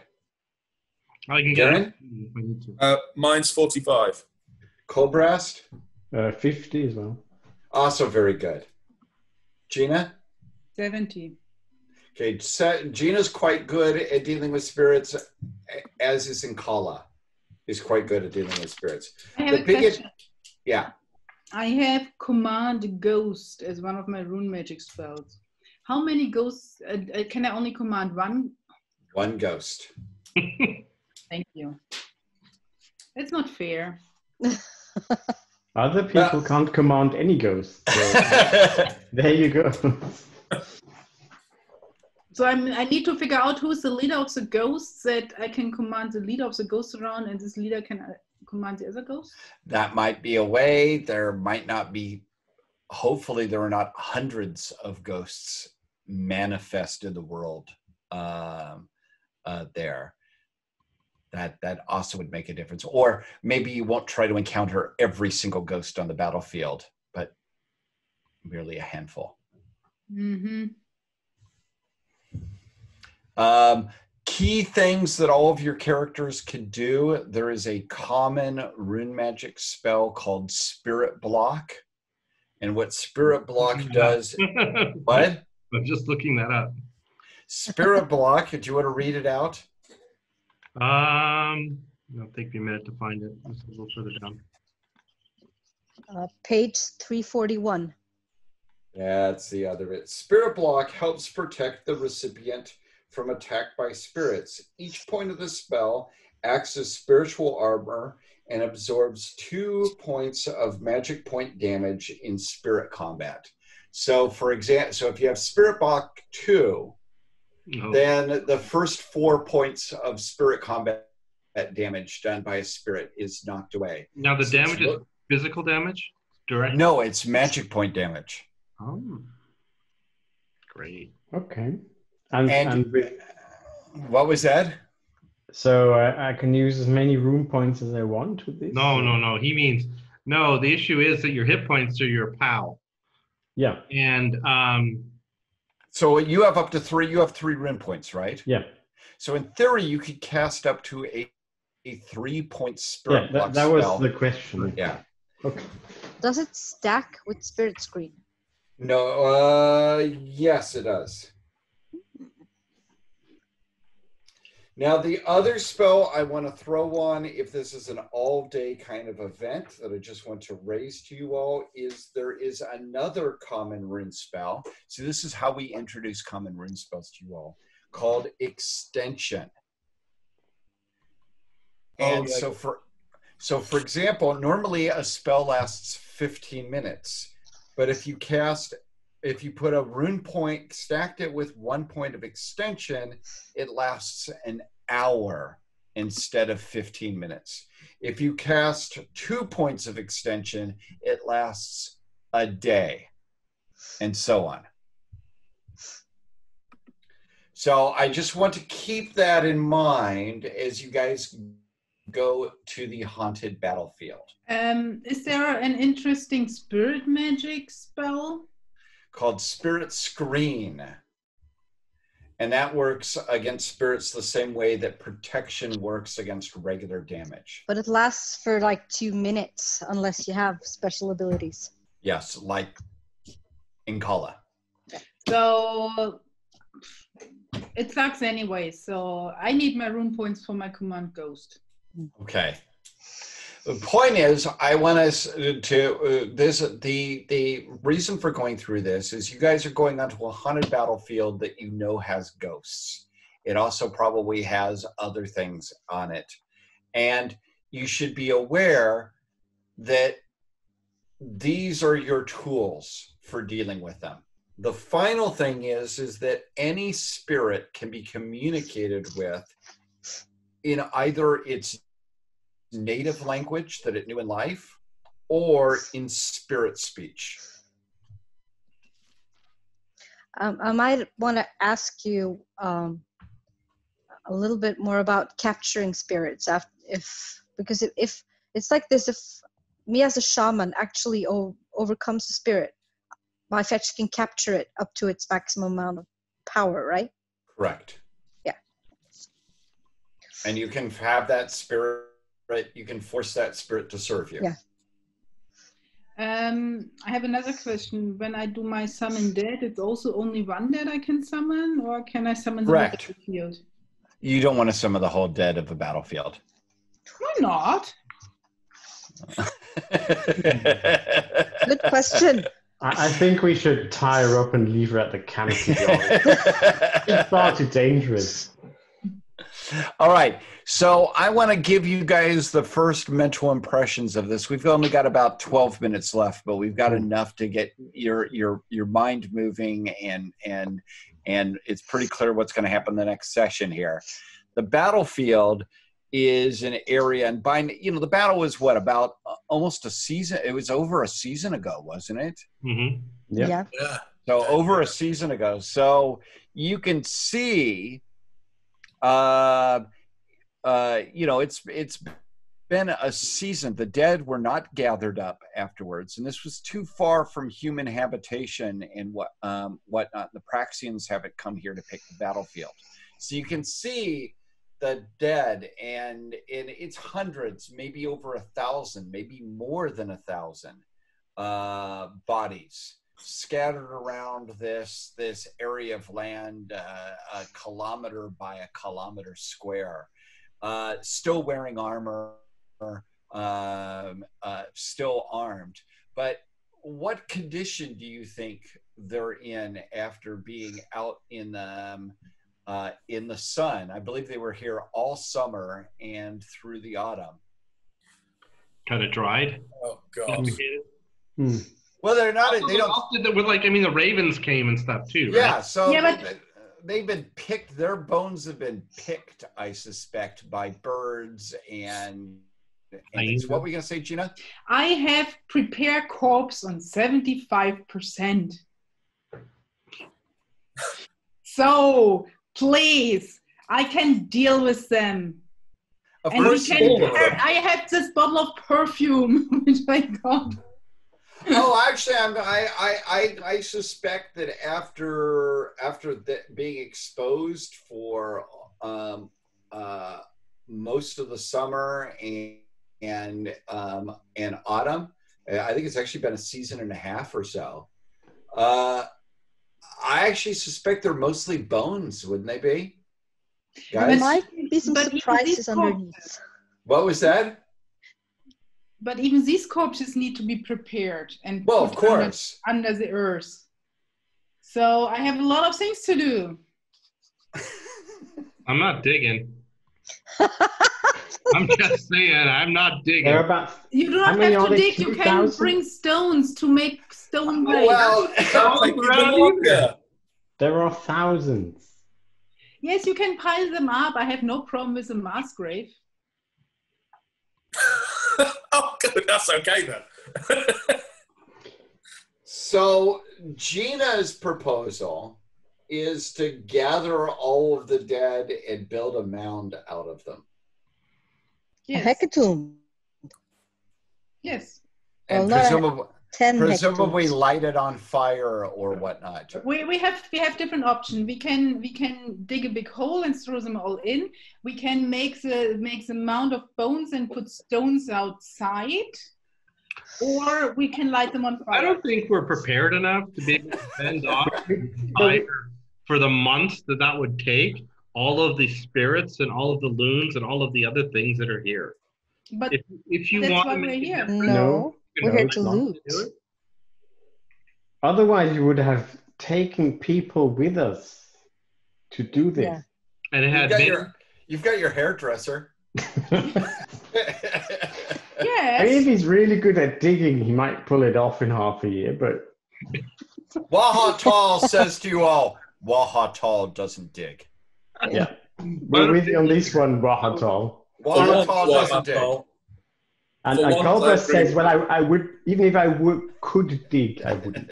if if you go there and perhaps you find say an you know a, a dead priestess or something like that that's different we should take that special rituals to protect them but we cannot take every person from this battlefield and nor should we try Bless But- the area, give it a new name.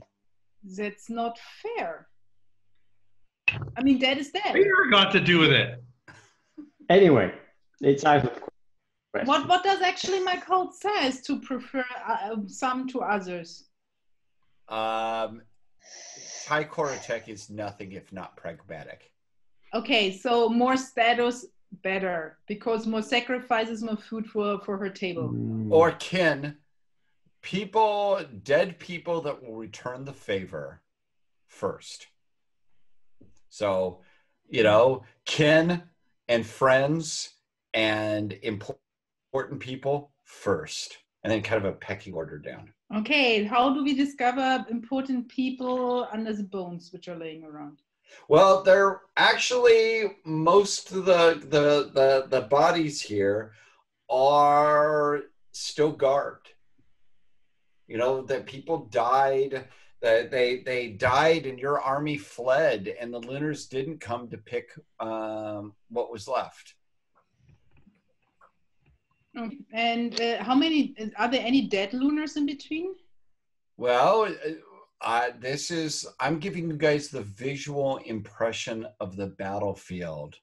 And um, then next session, we are going to explore the battlefield and the spirits and the lunes and whatever was making the thunder sounds. Does that sound okay? That, that sounds good. Yeah. And the question So. is how much of my rune magic do I want to spend with extension? so I'd like to stop this here because it is just about 11:30 at night. But this is a good starting point because I think next session we've had two. We had had uh, I think our first two or three sessions had had an awful lot of combat. Then we had had two relatively low combat sessions, as in uh, almost none, two or three, and now we will see what happens to the next section. But presumably, um, going to the haunted battlefield, something will happen. So is this guy okay? Stopping point for you guys? Sounds good. It's okay. I want to thank everybody for watching this. I want to thank all my players um, and everybody involved. And if you want to learn more about RuneQuest of Chaosium, you can just check out our website at www.chaosium.com.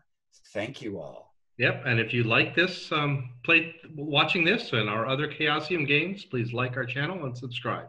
Thank you very much.